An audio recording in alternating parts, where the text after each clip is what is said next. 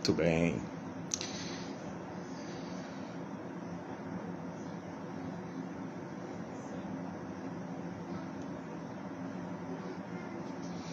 Olá, Juliana. Você foi a primeira, né? Que legal. Boa noite. Seja bem-vinda. Tava aí só marcando, né?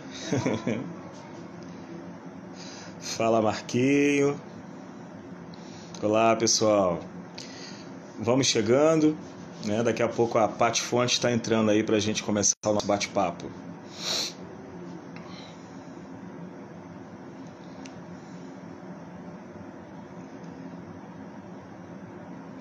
Olá, Luísa. Quanto tempo, hein? Bacana você por aqui. Seja bem-vinda.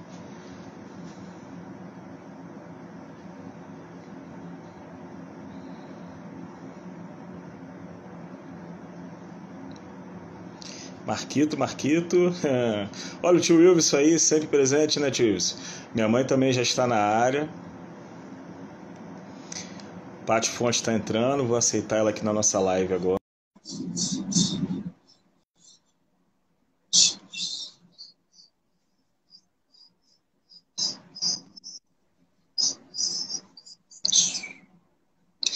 Olá, Paty, boa noite, seja bem-vinda. Boa noite, José Ricardo, tudo bem? Boa noite a todos. Tudo bem. O pessoal tá chegando aí, né, Paty? Pois é, o som tá legal aí para vocês? Oi? O som tá legal? Ele Minha tá voz? dando uma, uma, uma, uma picotadinha. Tô tentando ajustar aqui. Tá bom. Estamos com, com alguns minutinhos aí, dá pra gente ir se ajeitando. E você, me ouve bem, Paty? Perfeitamente.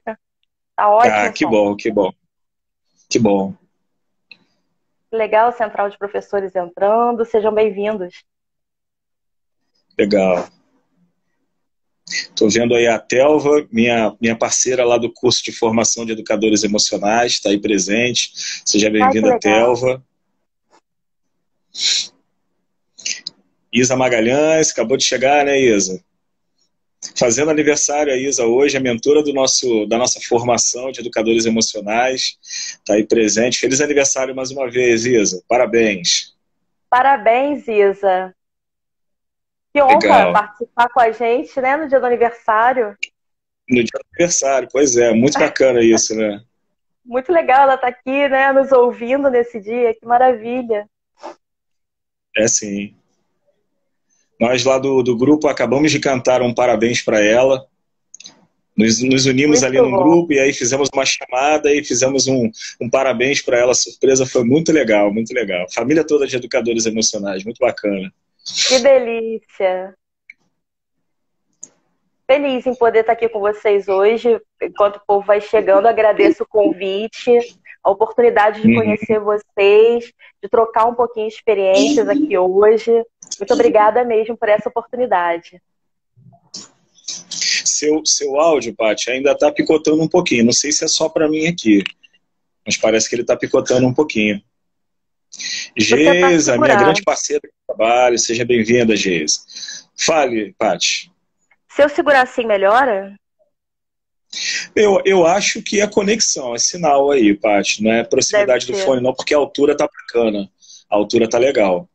Deve ser, né? Porque às vezes bate cabelo, tudo, aí fica fazendo é. uma bagunça no microfone. Eu não, eu não vou ter esse problema do cabelo esbarrar no fone. É. Não, você tá com fone também. É, pois é, eu gosto muito desse som ambiente aqui, do, desse fone mais, mais acústico, né? Eu gosto as vantagens de ser homem, né? Mulheres suas é. vaidades femininas. Pois é. Mas dá pra. A mulher não vai entender... um desse, né? Não na live, né? Dá pra, entender... dá pra entender o que eu tô falando, apesar de estar picotando? Ó, temos uma amiga aí, a Juliana, a Nunes Julima, que está dizendo que para ela tá bom, tá sem picotar. Pode ser que eu aqui que não esteja te ouvindo bem. Ai, que ótimo. Vamos ver se mais alguém dá um feedback sobre o som, gente. Por favor.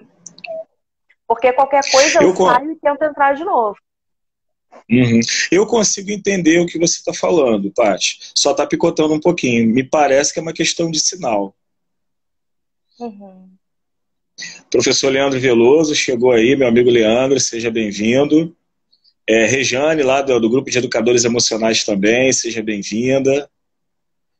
Então, o pessoal dizendo que tá, tá legal. O professor Roper então, ali também disse que tá bacana, então, então tá bom. Então vamos embora. É tá isso. ótimo som. Congresso Brincar. Muito obrigada, gente, o pessoal aí do Congresso Brincar, pela participação. Uhum. Que ótimo que vocês estão aqui com a gente hoje. Acabou uma live lá do Congresso Brincar agora. Não comigo, mas eu acabei de assistir. Eles fazem live uhum. todas as quartas e, e sábados. E uhum. acabei de assistir e já engrenei aqui com vocês. Fica a dica Maravilha. aí, né, professor? Essa... Pra gente ir lá falar do, do das emoções. Uhum. É, é, esse, esse convite, é, essa vontade de bater um papo com você, Paty, junto com mais professores e pessoas envolvidas, surgiu é, por conta de que é, eu já acompanho o seu trabalho. Tenho aqui, já falei numa outra live, vou falar novamente. Eu tenho seu ah, livro aqui. Que legal! É, para mim discussão muito grande e, e, poder utilizar em alguns momentos nas minhas aulas, nas minhas atividades de, de é, educação emocional, poder estar tá promovendo atividades que eu encontro no seu livro uh, nas minhas aulas. Tem até um amigo aqui que entrou agora, professor Jonathan, é um grande amigo aí de, de vida. É, e, Jonathan, lembra aquelas atividades que eu mandei para você? Sobre sócio emocional? Pois é, a autora está bem aqui conversando com você agora. eu fico muito Legal. feliz, eu fico muito feliz de saber que o livro está sendo útil para vocês, assim, que na prática ele funciona, porque todas as atividades ali, os projetos, eles foram testados, né, antes. É, eu só coloco Bacana. no livro, ou em apostila, ou até mesmo no site, meu site tem uhum. muito material gratuito. Então, ele é muito rico em uhum. sugestões práticas. Depois de que uhum. eu vejo que aquilo aconteceu e foi um sucesso, assim, de que aconteceu de forma satisfatória. Uhum. E é tão bom, né, quando eu escuto de outras pessoas isso, ou seja, não é a, autora querendo vender o livro, é que realmente uhum. as sugestões atingem, né? Os alunos, os uhum. professores gostam também. Isso é muito bom, eu fico muito feliz. Você, como autor, sabe disso, né? Esse é o nosso Com maior certeza. pagamento. É assim, quando a gente ouve, né, o Paty, quando a gente tem esse retorno, que as pessoas estão podendo utilizar o nosso material, nossa obra, nosso livro, isso é o melhor retorno que, que, que um autor pode ter. É maior do que qualquer coisa. Deixa eu dar uma boa noite aí para a nossa companheira também do curso de Educadores Emocionais, Marisete, seja bem-vinda. É, professor Sandro também entrou aí, parceiro aqui da, de Araruama, da Faculdade Unilagos. Gustavo também está aí. Saudade, meu querido. Seja bem-vindo. E é isso, legal. as pessoas estão chegando. Amo Araruama, passei minha infância, minha adolescência lá. Sempre uhum. aguardando legal. convites. Vamos palestrar em Araruama. Aham, uhum. bacana, bacana. Quando acabar, Professor né? Júnior aí também, seja bem-vindo. E é isso. E aí, Paty, já acho que podemos começar a, a, falar mais especificamente do tema que a gente é, traçou aí durante esses dias para conversar com o pessoal, né? O que, que, você acha? Eu acho que sim, eu acho que as pessoas vão entrando e vão se inteirando na nossa conversa. Só quero aqui agradecer a Marise, que também está dando um feedback, dizendo que também gostou muito do livro, que está utilizando a pesquisa de mestrado. Isso não tem preço, gente. Legal. Muito obrigada. Muito obrigada pelo carinho é, desse feedback. É muito importante mesmo, até para que eu persista nessa pesquisa, que eu já venho aí há nove anos pesquisando sobre o tema e não paro, eu continuo uhum. pesquisando. Então eu já tenho material para mais uns dois livros. Nossa, imagino. Com essa estrada de pesquisa, com certeza tem material para mais livros. Bacana. Sim, sem dúvida, porque é um processo contínuo, né? Uhum. A Isa está perguntando aqui, ó, é esse, Isa. Competências socioemocionais na escola. E aí, já que a Isa passou por aqui, e eu estou mostrando o seu livro, Paty, deixa eu mostrar o livro dela também.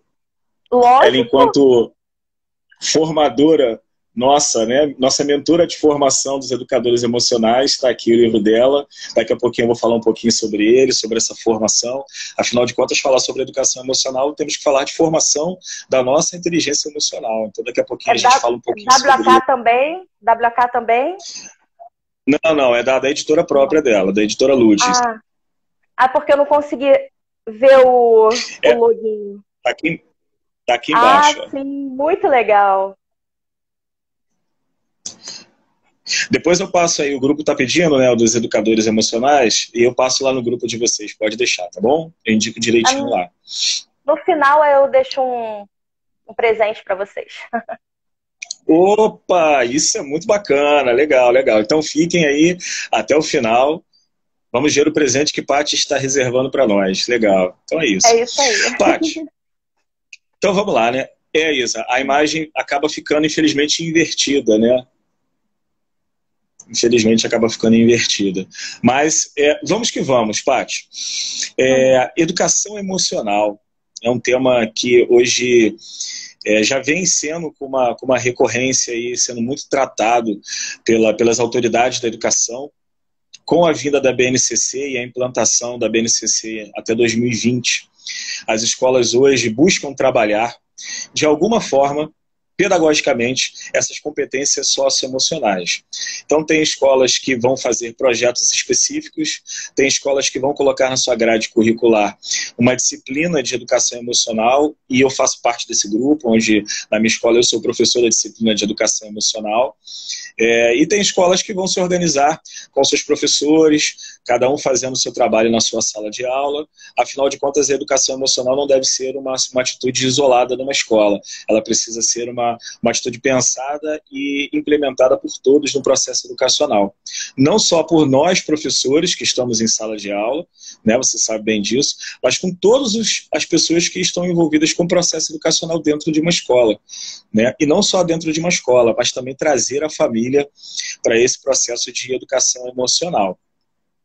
E aí, Paty, eu gostaria de começar falando, né, a gente deu essa introdução aqui, eu gostaria de começar falando sobre quem é ou quem pode ser o educador emocional. Se você tiver alguma fala para introduzir, que aí depois eu já continuo dessa parte da formação do educador para a gente conversar sobre. Então, quando você me pergunta quem é o educador emocional, é, uhum. o educador emocional, a princípio, é aquele que se permite essa viagem ao seu eu interior.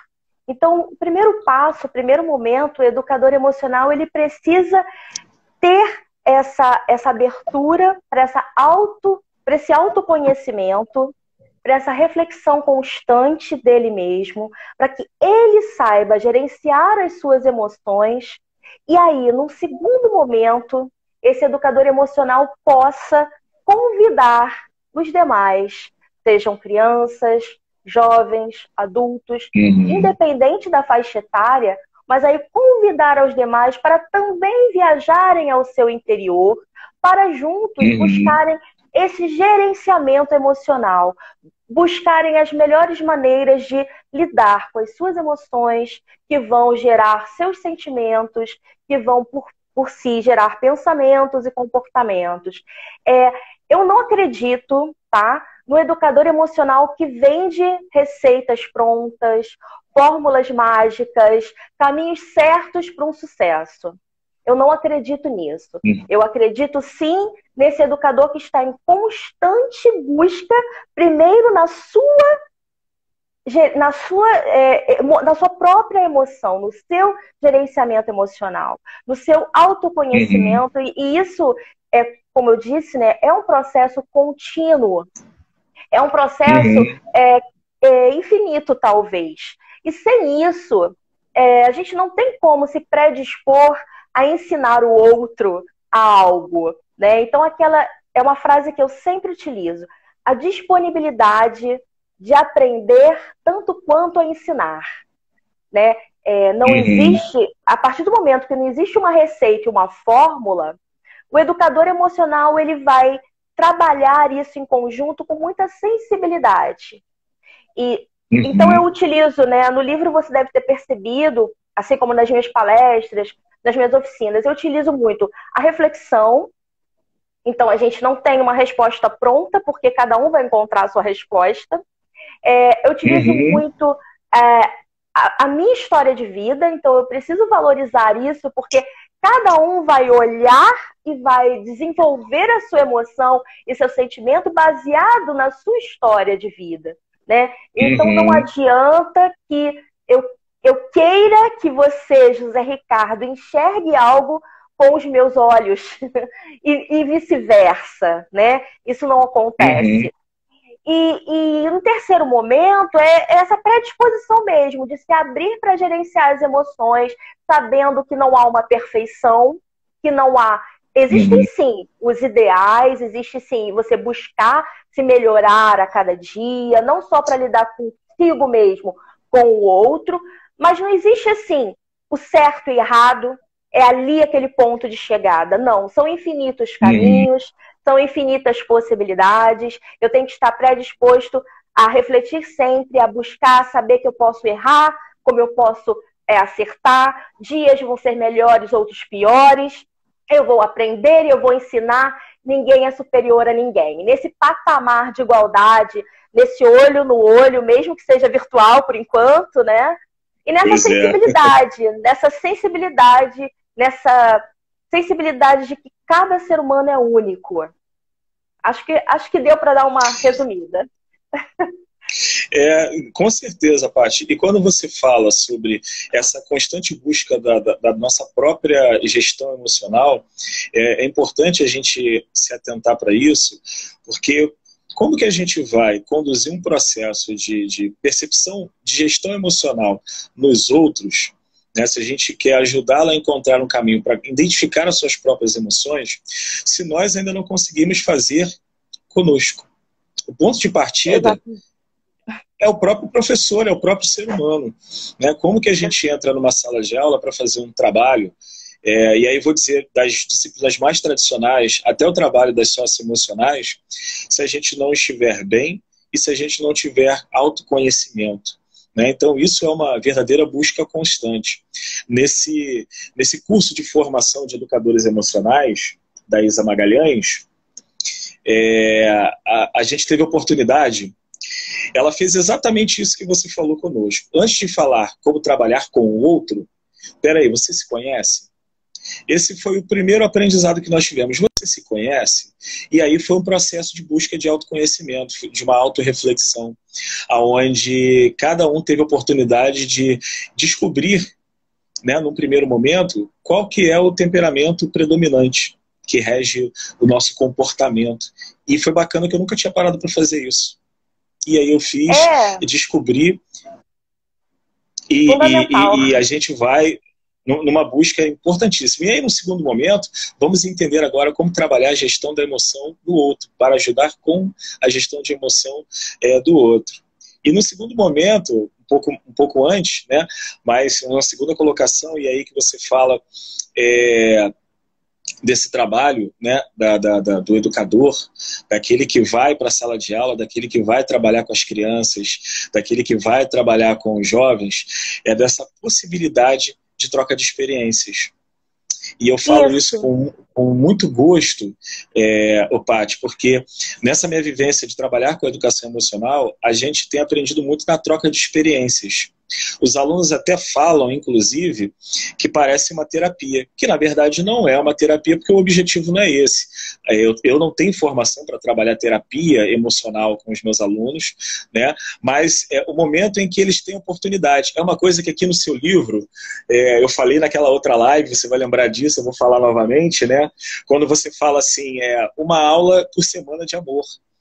É o momento em que eles têm para falar dos seus sentimentos, coisa que a escola está entendendo agora. Na verdade, a gente já entendia, mas faltava incentivo para que a gente pudesse tornar isso um projeto mais pedagógico, uma coisa mais direcionada dentro de sala de aula. E agora eles estão tendo, é, é, via BNCC, implementação das competências socioemocionais, eles estão tendo a oportunidade de falar sobre os seus sentimentos é que não seja só uma obrigatoriedade, né? Que não seja só um documento, porque o que me preocupa é quando as pessoas pegam isso e tentam traduzir de uma maneira errônea que acaba ao, ao invés de atingir o objetivo, às vezes até piorar certas situações. Exemplificando, é, em uma escola, uhum. vieram me procurar pedindo ajuda, porque isso no ano passado, uma escola X, não vou citar onde, pode ser qualquer escola, né?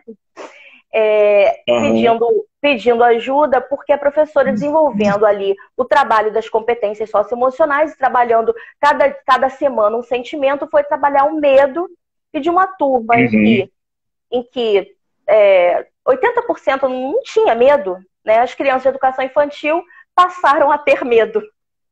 Ou seja, o trabalho foi ao inverso. Então, o que, que aconteceu? Uhum. O que, que houve ali? Qual foi o planejamento? O que, que deu errado? Então, quando a gente põe é, no patamar, é obrigatório, tem que trabalhar e vamos trabalhar de qualquer maneira, e as pessoas até buscam na internet dicas de atividade, uhum. sugestões e tal. Não é que sejam ruins, é, é que é necessário para este tipo de trabalho, principalmente, um olhar muito atento, muito sensível à sua realidade, ao seu grupo, à sua comunidade escolar, para que depois você planeje as atividades assertivamente. Não é algo que você vai planejar só para cumprir o currículo, né? Então a minha maior uhum. preocupação com esse tema é exatamente quando isso acontece dessa maneira atropelada. Uhum. É assim, e você está coberta de razão, é, Paty, porque é, o que, que a gente vive no, no, no processo acadêmico? É, as imposições, né? É, os modelos que vêm prontos nos currículos e a gente precisa chegar na escola e executar. E não pode ser esse caminho do trabalho das competências é, socioemocionais, muito pelo contrário, é para ir no, no, na, na, na, direção é, inversa né, para o aluno sair dessa posição do tudo pronto, do tradicionalismo, né, e ele começar a, a, a se sentir é, pertencente né, isso um sujeito da sua própria aprendizagem, onde ele vai refletir sobre o comportamento dele, né, ele vai pensar na questão da empatia. O Leandro, o professor está perguntando aí quais as competências básicas para trabalhar a educação é, socioemocional na escola. E aí, Leandro, te respondendo, é a empatia, é a colaboração, é o protagonismo, é a proatividade, é e todas essas habilidades, os alunos acabam vendo na prática isso acontecer. E aí a gente ouve o aluno falar assim: caramba, professor, olha só como é que isso aqui dá certo. E eu não tinha parado para refletir. Desculpa te cortar. É, desculpa. É que quando a gente lança, às vezes, um livro, né, é, com várias dicas, várias sugestões, as pessoas às vezes entendem que é para pegar aquilo ali igualzinho e reproduzir. Né? E a ideia é. não é essa. A ideia é somar é. com a ideia é somar com sugestões para que a partir dali o professor desenvolva a sua própria. Né? A partir dali, poxa, isso é uhum. é legal, eu vou adaptar para esse grupo, fazendo daquela maneira. Né? E aí, quanto, respondendo, foi Leandro que perguntou? É, eu fiz, uma pesquisa, eu fiz uma pesquisa sobre isso, porque é uma pergunta muito recorrente, sabe? Eu fiz uma uhum. pesquisa e nas palestras eu separo assim. A nível Brasil, nosso país, quais são as competências que os autores brasileiros mais indicam, uhum. né, de se trabalhar? Então, eu, eu linkei ali 10 e acrescentei três que são minha opinião. Aí fiz uma outra pesquisa de como é, sul-americanos, né, pensando ali nas escolas sul-americanas, organizam esse, é, essas competências. E aí já é completamente uhum. diferente. E a teoria do Big Five, vocês devem conhecer, que a teoria do Big, Big Five é mais nível mundo. Então, depois, basta uhum. vocês darem uma pesquisada nisso aí, que são, que são bem interessantes, assim, as mudanças, né? E mesmo assim, que te digam, são essas as competências mais importantes, e o teu grupo pede uma outra, uhum. você vai trabalhar aquela outra. Isso. É sim. E, e, a gente vai percebendo que as competências, né, Paty, a gente vai trabalhando elas e outras vão acontecendo ao mesmo tempo. Talvez num grau menor, porque a gente está com uma ênfase numa determinada competência, mas que muitas outras estão acontecendo ali é, é, no entorno. Né? É como se fosse um grande caldeirão, tem a mistura principal, mas tem todos os outros ingredientes ali dentro acontecendo. E isso é muito, muito importante. É... Marizeuda, boa noite, querida. Obrigada por você estar aí com a gente. Tá? A Paty, a Isa Magalhães, né, como eu falei, a mentora lá da nossa formação, adorou sua explicação. Falou, muito boa explicação da Paty. Legal ah, aí pela, bom, Isa, pela... Eu vou falando e não consigo ler ao mesmo tempo, então que bom ouvir esse feedback. É, eu, eu também estou aprendendo isso, tá, Paty? Eu não tenho essa habilidade, estou aqui colocando em prática com você. Tentar me manter conectado nos comentários. É, isso aí. É, aqui, ó, a Marisete, que é uma parceira lá da formação de educadores, está colocando uma, uma, uma, frase sua aqui, ó. Pretendo ainda ver uma educação que arremessa alunos e professor para dentro de si mesmos, sem máscaras. Ah. É, é uma frase do livro, né? É muito legal. Que bom que vocês gostaram. Esse livro, ele é muito querido para mim. Eu demorei muito tempo pesquisando, estava lá na gaveta do editor também já há alguns anos. E com a obrigatoriedade uhum. da BNCC, ele lembrou de mim. Que bacana, né? Tá vendo? Ele já estava na legal. gaveta. É, é verdade. É, então, Paty, e aí, eu queria que a gente falasse um pouquinho agora sobre é, essa formação do educador emocional. Né? Eu tive a oportunidade de passar por duas formações, eu fiz uma especialização, primeiro em inteligência socioemocional, mas não me dando por satisfeito, e eu já tinha na, na, no meu radar esse curso da, da editora Ludes, né, do sistema Ludes, e aí consegui fazer. Legal. É, mas quem é, que, como que é essa formação do, do, educador emocional? Gostaria que você desse umas palavrinhas aí para a gente, depois eu entro contribuindo de alguma forma. Então, eu acredito muito primeiro nessa predisposição do professor, né, de realmente querer se tornar um, um, formador emocional de si mesmo e do outro. Então, primeiro precisa disso, né? Não adianta lá a BNCC é, é, obrigar de uma certa maneira as escolas em contrapartida, se o ser humano ele não está aberto, receptivo, predisposto uhum. a tal. Então, quando não se está receptivo, não há curso e formação que dê jeito. Então, o primeiro passo, eu acho que é essa abertura de cada ser humano. Uhum. Em seguida, em seguida, como eu já falei no início, né? Eu não acredito assim uma formação vai resolver. Eu acredito que isso é uma coisa constante mesmo.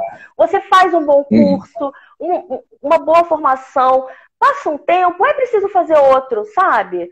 E, e é uma coisa uhum. do olhar, o olhar diferente. A formação com o José Ricardo vai ter um olhar, a formação com a Paty vai ter outro olhar. Então vai ter uma pegada uhum. diferente, vai ter algo que vai te motivar de um jeito ou de outro. E, como eu disse, uhum. eu pesquiso esse tema há nove anos e eu continuo pesquisando. Eu não me, não me considero ainda alfabetizada emocionalmente. E, uhum. e esse, esse, esse se, se considerar é, ainda não apto, né? Talvez não, nunca maduro, como diria o Gilberto Freire, que é um dos meus ídolos nesse, nesse, é, nesse sentido. É, nunca me sinto maduro o suficiente, eu acho que me ajuda a, a continuar, persistir, caminhar. Uhum. Isso é uma, também uma habilidade, né? A curiosidade. Você se manter curioso, uhum. se manter inquieto, se manter reflexivo, se manter buscando desenvolver a criatividade, então, eu acho que esse é o primeiro passo. Em seguida, não adianta de forma alguma você pensar num caminho, numa resposta certa, numa receita, ou que o livro da Paty vai me salvar. Pode ajudar muito, sim. Pode te dar uhum. subsídios, mas não é, não é isso, né?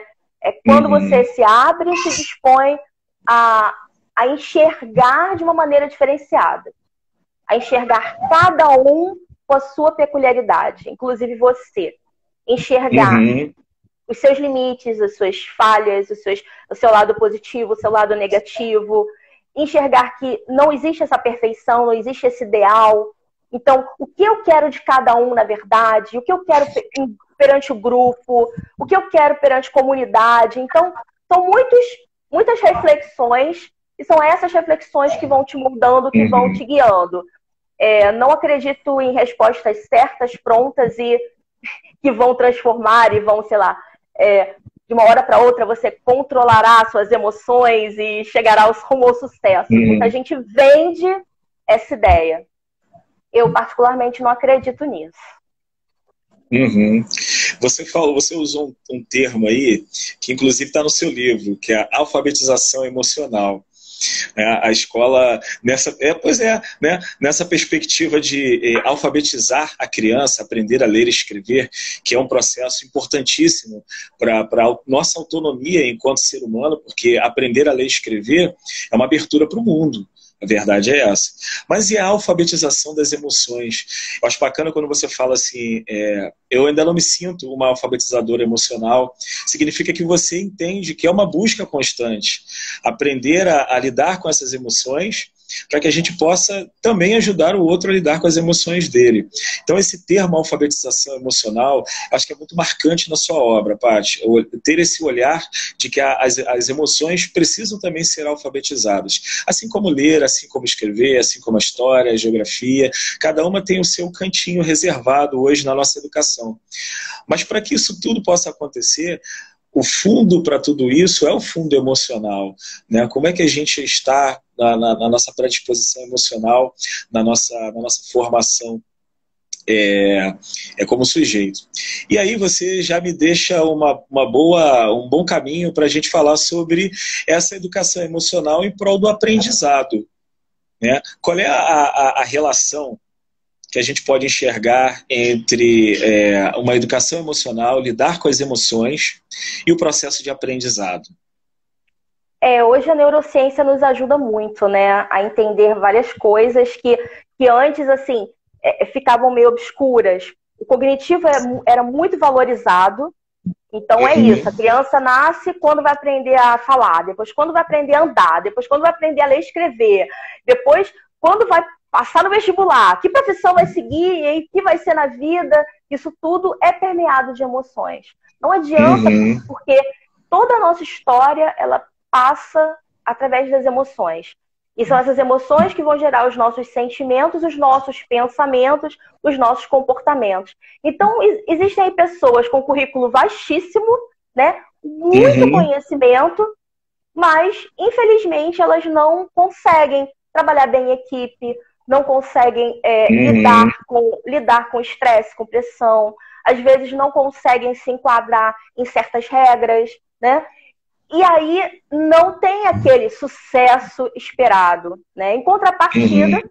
temos aí outros que nascem talvez com menos predisposição a tudo isso, tem menos é, recursos e tal, mas que mantém ali aquela persistência, não, eu vou conseguir, eu vou longe, eu vou estudar, eu vou, eu vou, e, e de repente aquele chega no tal patamar que o outro teria tudo para uhum. estar, né? Então aí a gente Sim. percebe o que que, o que que aconteceu ali. Percebe-se claramente que as emoções interferem em tudo, né, na nossa uhum. vida. E eu não sou psicóloga, tá, gente? É deixando claro aqui, porque eu não sou psicóloga, apenas pesquisadora do tema. Mas as emoções, elas interferem. É, às vezes o aluno sabe toda a matéria, estudou, participou das aulas, mas é uma criança que se cobra excessivamente, de repente, porque já vem uhum. isso desde cedo, já tem ali toda uma história, né, é, uma carga de pressão do, da família. Chega na hora da avaliação, o que, que acontece? Dá aquele branco, ou passa mal. Isso é muito comum.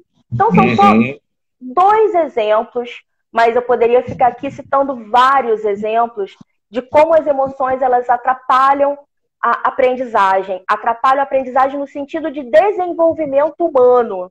Não aprendizagem no sentido de decorar para fazer uma prova. Uhum. Também atrapalha. Também, Também atrapalha. Mas eu estou falando aqui além, na aprendizagem no sentido de desenvolvimento do ser humano. O que, que eu quero? Para que eu quero me desenvolver? Que vida eu quero ter? Né? Que vida será boa para mim e para os outros que estão Sim. comigo, né? E aí, quando a gente pensa, como professores que somos, que lidamos uhum. com vidas, né? Vidas, seres humanos, seres humaninhos, né? E não com e não com currículo, com matéria, com disciplina, né? Com a, vidas.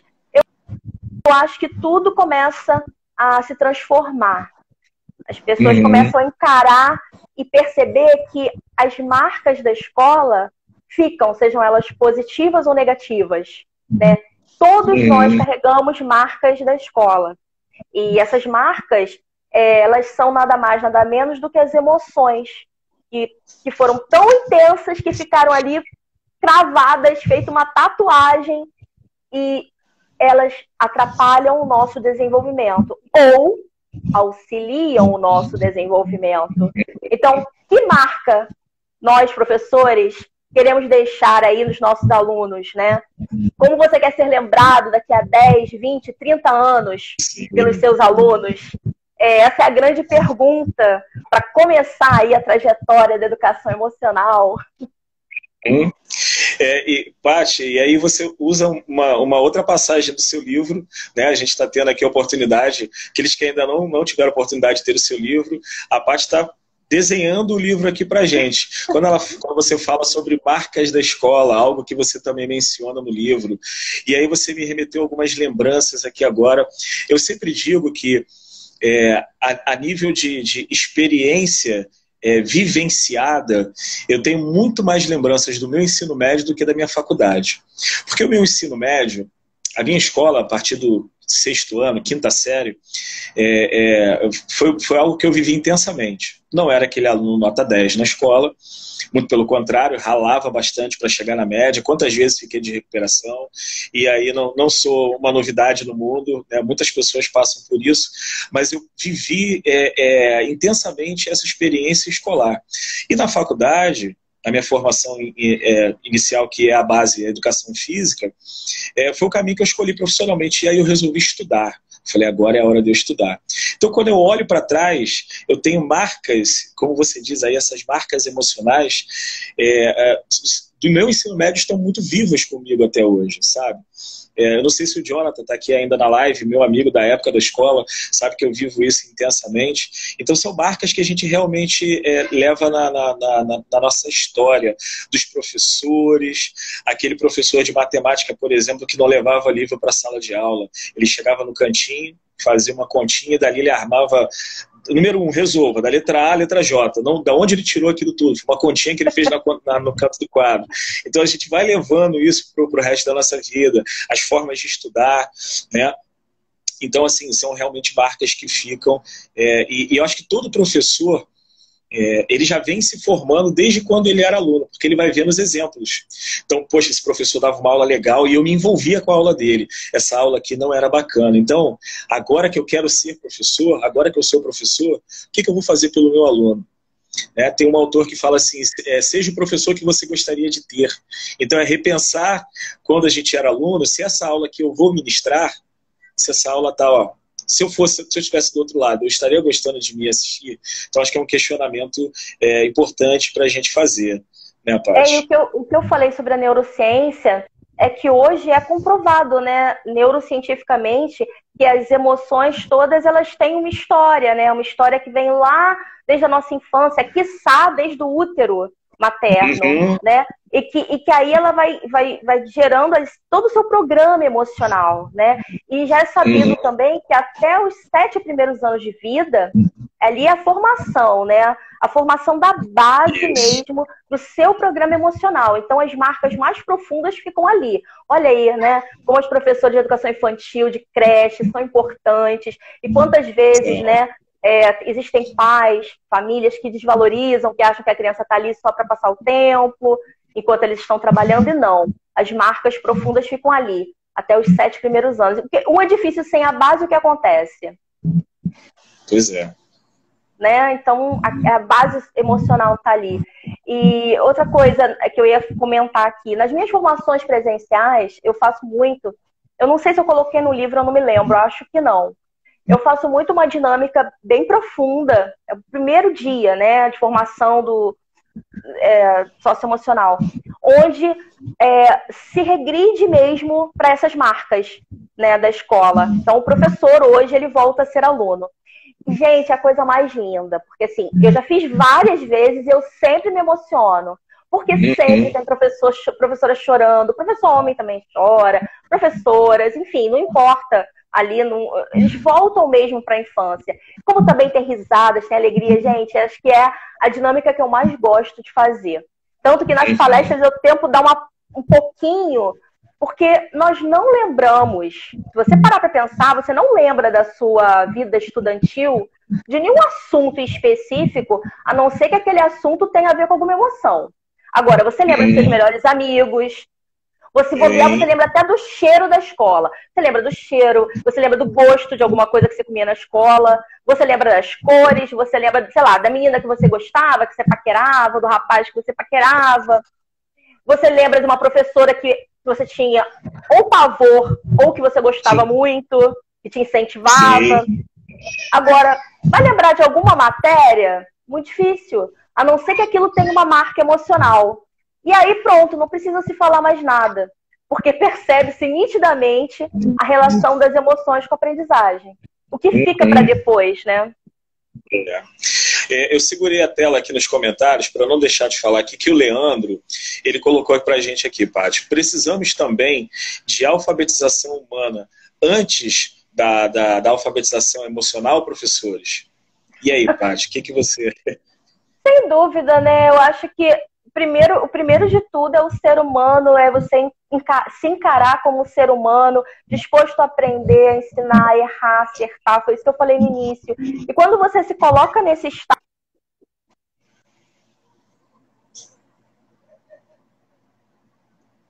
Olá, pessoal. Parece que tivemos um probleminha aqui com a Paty. Voltei, voltei. Oi. Voltou, voltou, Paty. Voltei? Eu tinha caído, né? É, entrou um reloginho aqui no seu rosto, eu falei, opa, e congelou a imagem. É, foi para dar mais emoção, para vocês não esquecerem é, desse momento. Para deixar mais uma marca aqui nessa live. para deixar uma marca da live. Mas isso. é isso que eu falei no início, o ser humano é, se, se, colocando realmente mais humano, né? O professor uhum. sensível, o professor que sabe que está lidando com vidas, e isso é, é, é, o básico do básico que ainda falta mesmo. Se não tem isso, não adianta o curso, foi o que eu falei no início. Pode ser o curso maravilhoso que for, que você não vai uhum. desenvolver na pessoa.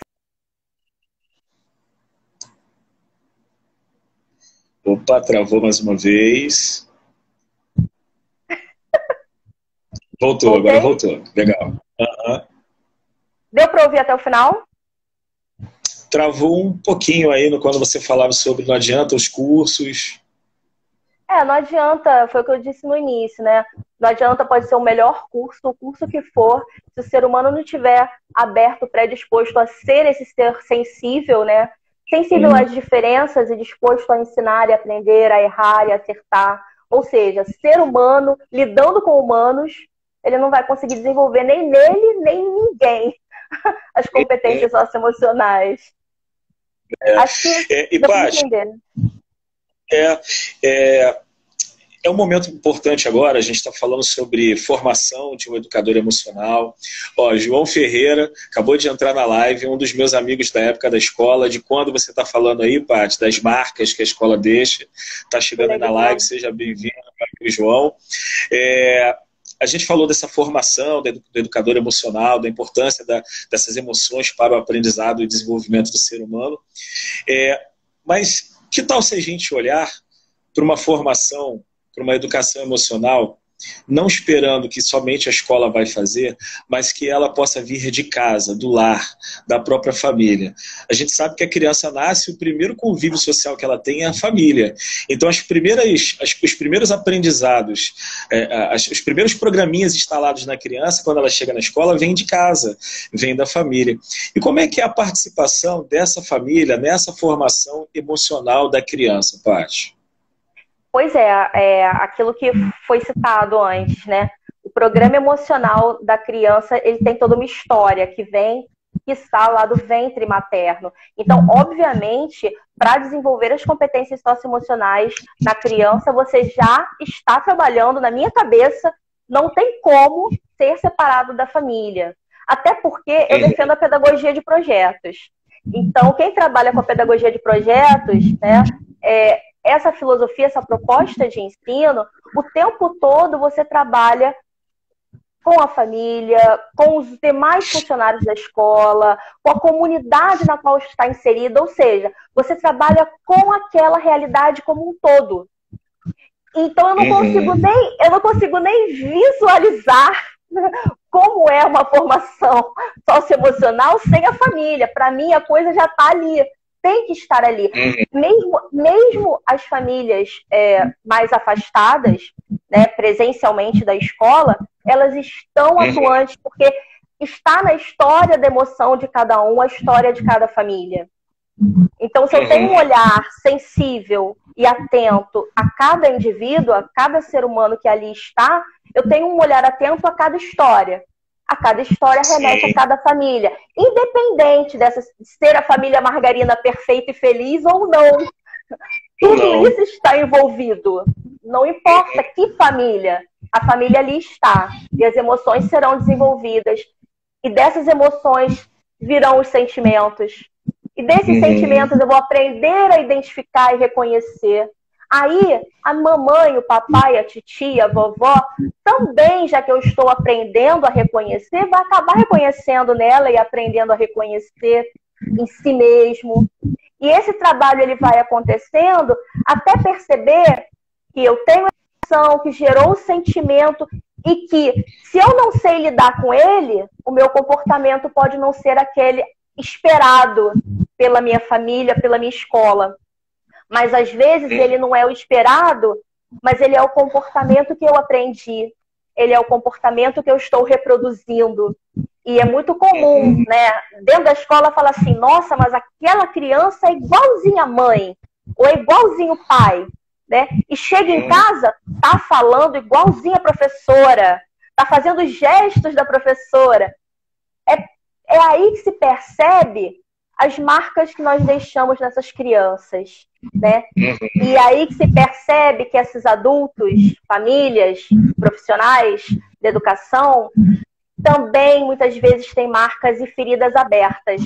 Que se não são, se não sabem lidar com elas, vão em algum momento descontar em quem não tem nada a ver com isso.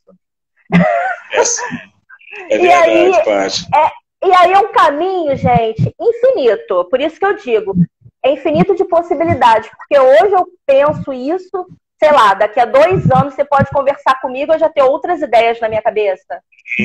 Sim. Nós mudamos, as pessoas mudam, né? É isso aí. É isso aí. É, e, e, Pois é, Paty. E é interessante porque às vezes a gente nota os comportamentos nas crianças, nos adolescentes, e aí a gente sente a necessidade de uma intervenção. A escola pensa, precisamos intervir para ajudar no, no, desenvolvimento desse aluno. E aí a gente, o que, que a gente vai fazer? Vamos chamar a família para uma conversa, porque assim como meu parceiro Marquinhos colocou ali, é a parceria eterna família-escola. Daí você convida a família, a família comparece, às vezes, infelizmente, não, mas aí a família comparece para essa reunião, para uma conversa, e a gente entende, como você falou, determinados comportamentos da criança, porque foi o grande aprendizado que ela teve, né, dessa, dessa formação emocional, vamos dizer assim. E aí o que ela vai fazer? Ela vai reproduzir isso no ambiente onde ela estiver. É claro que às vezes existe uma diferença do meu filho é, é, do, do, filho daquela família para o aluno que está na escola. É a mesma pessoa, mas às vezes apresenta comportamento diferente porque o ambiente propicia isso. Então, às vezes, Sim. em casa ela é muito presa, e aí na escola ela se sente livre, ou às vezes é o contrário. Né? Mas o importante é entender essa parceria. E quando a escola observa que ah, essa, essa formação esse caráter emocional da criança é, não foi muito bem trabalhado porque vem da família, eu acho que é uma grande oportunidade dessa, dessa parceria se estreitar ainda mais, trazer essa família para a escola né, e pensar, você então, como uma, uma grande defensora da pedagogia de projetos, pensar nesse projeto né? Pensar nesse projeto para a família. Tem até um dos projetos aqui no seu livro, tem um, um professor que já perguntou aí, qual, é, se tem casos aí de projetos, de pedagogia de projetos socioemocionais. E aí, daqui a pouquinho você dá uma bola sobre isso. E aí você fala sobre a família, né? Você fala sobre a formação da criança. Então, existem possibilidades da gente estar trazendo a família dentro de uma perspectiva socioemocional para projetos na escola. E aí, Paty, nós temos aqui pelo meu reloginho é, 11 minutos. E aí eu gostaria Passou que a gente falasse. Passou muito rápido, né? E aí eu gostaria que você falasse um pouquinho sobre as suas experiências com a pedagogia dos projetos, para a gente poder trocar um pouco gente, de experiência aqui. Fala, falar um pouquinho é difícil comigo, mas, mas assim, a pedagogia. De... Né? a pedagogia de projetos, ela, ela, ela demonstra né, é, inúmeros, inúmeros caminhos possíveis, e é por isso que eu gosto dela. É. Assim como eu falei das competências socioemocionais, através da pedagogia de projetos, os alunos eles são desafiados a, a pesquisarem juntos, a buscarem soluções para problemas. Né? Eles não são, é, eles são os protagonistas nesse sentido, e o professor, junto com ele, é o mediador. É, e, e, e, os projetos podem ter o mesmo tema, e dependendo da realidade, dependendo do grupo, eles podem trilhar caminhos completamente diferentes. E eles sempre são muito emocionantes, porque todos precisam participar e se sentir integrantes, inclusive as famílias, os demais membros da escola. Eu acredito nessa pedagogia porque ela trabalha com todos os sentidos, né? Então ela explora, é, além dos cinco sentidos, ela explora ali o que, o que o Gardner fala, né? As inteligências múltiplas. Eu acredito muito nisso de que nós temos algumas inteligências mais desenvolvidas do que outras. E quando eu falo em competências socioemocionais, inteligências múltiplas, em pedagogia de projetos, eu vejo a união perfeita. Então, acredito nesse trabalho, é um trabalho que eu já defendo há muito tempo. É, hoje, é, eu tenho livros pela WK, eu tenho site, projetos pedagógicos dinâmicos, mas eu tenho aí um caminho, né, como educadora, é, já um bom caminho, um bom um caminho, tempinho. um tempinho. É, eu, eu entrei é, na sala de aula com 15 anos, como estagiária do curso normal, né, antigo curso normal. Então aí eu já posso dizer que eu já tô já tô aí 30 anos quase de magistério, abafa. mas é pra gente, mas é para perceber que isso tudo é um processo. É um processo que há necessidade, sim, de, de se amar o que se faz. Na verdade, eu acho que quando a gente ama, esse brilho no olhar ele é natural, o sorriso é natural, a vontade de aprender cada vez mais é natural. E o que eu vejo hoje é muita gente insatisfeita, né, com tudo, porque sim, são muitos os desafios, são muitos os obstáculos, mas quando a gente ama, a gente acredita no nosso trabalho. Então, é, aproveitando essa oportunidade da live de vocês, eu quero deixar primeiro assim, quem, quem tiver interesse, tá, gente, em livro autografado, eu pedi para colocarem lá no meu site, não é no site da WK, 30% de desconto, basta você colocar o código live. Live. Código Aí você é, 30, eu pedi para colocarem 30% de desconto e sem frete. Então, se vocês quiserem, eu vou deixar tá? Vou deixar até segunda-feira. E aí eu mando autografado para vocês, qualquer um dos meus filhotes, pode ser esse, competências, pode ser o primeiro, que é o Projetos Pedagógicos Dinâmicos, A Paixão de Educar e o Desafio de Inovar, ou pode ser o meu filho do meio, meu filho do meio, que é o Pedagogia de Projetos Ano Letivo Sem Mesmice.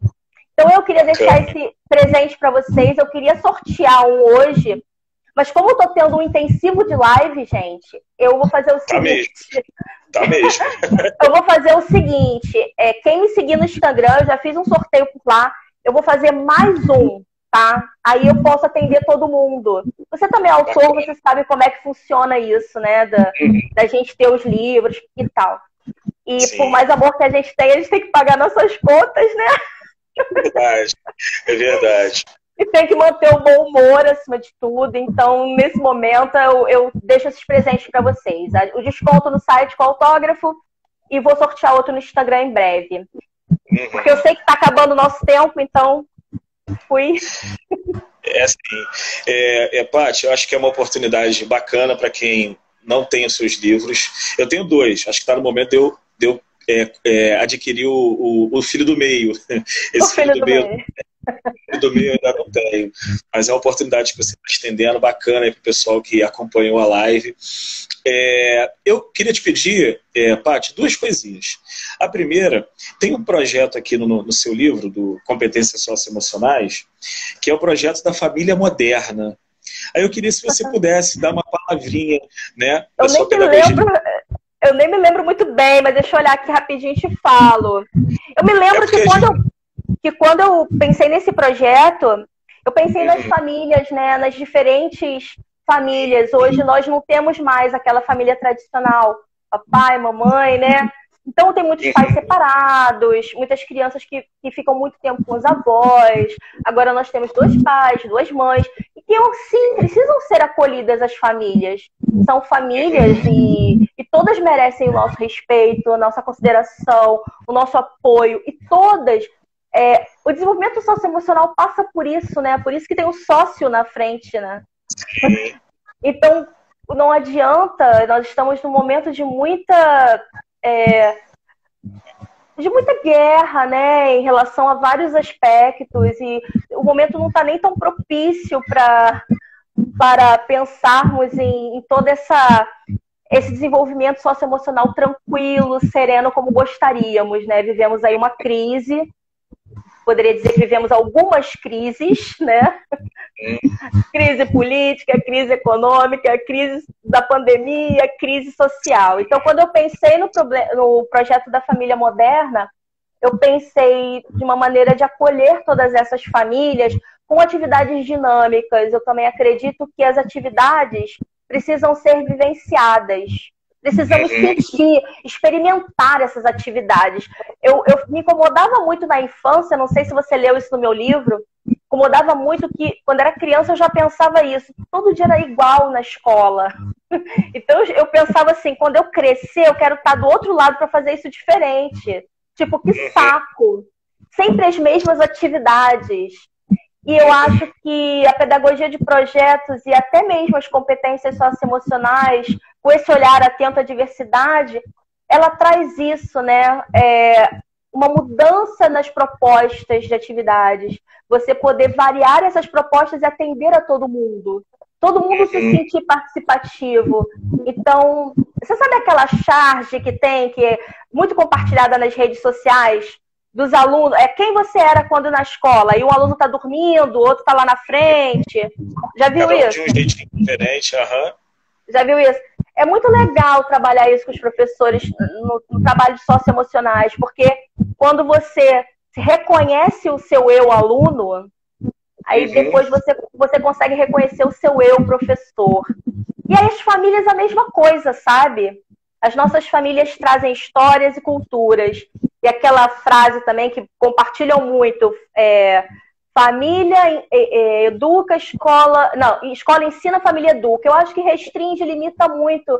Porque na escola você tem contato com pessoas de culturas diferentes, de histórias diferentes, de realidades diferentes. E aí você não vai trabalhar isso? Você não vai explorar tudo isso para um desenvolvimento social e emocional? Tem que se explorar. Então, se educa e se ensina na escola e na família, né? Foi por aí o meu raciocínio para aquele projetinho que está no livro. Bacana. E tem outras sugestões, né, Paty? Pessoal que já tem ou que vai aproveitar a promoção agora para adquirir vai se deliciar, não só com os projetos, mas tem dicas de leitura muito bacanas, como, por exemplo, uma aula de amor por semana, que eu sou apaixonado por essa parte do livro. Tem dicas de atividades para as crianças, Fundamental 1, então tem atividades bem direcionadas, que são bem interessantes também. Então, é uma, é uma aquisição importante aí para aqueles que estão enveredando pela, pela, pelas emoções emoções, tanto próprias quanto alheias, né? A gente está encerrando, Paty. É, o Marquinhos, que é meu parceiro dos livros, está pedindo para você mandar um abraço para ele. Ele precisa Mar... receber um abraço virtual seu. Marquinhos, beijo, abraço.